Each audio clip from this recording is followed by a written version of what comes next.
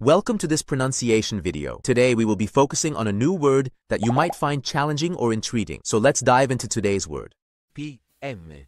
which means, afternoon and evening time period from noon to midnight. let's say it all together.